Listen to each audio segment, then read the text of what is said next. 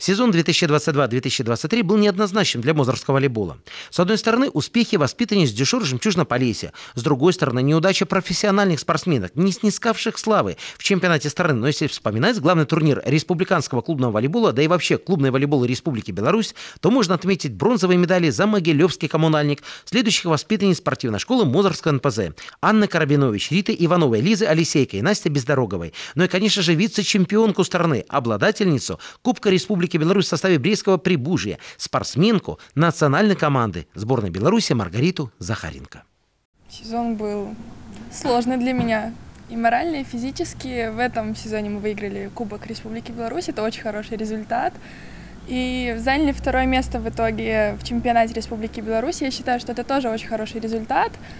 Минчанка очень хороший соперник, и мы показали, попытались показать свою игру.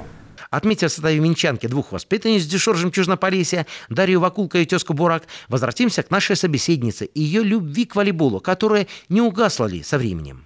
Нет, конечно, волейбол – это моя любовь, без него никуда. Где я проведу следующий сезон, я еще не знаю, не могу конкретно сказать.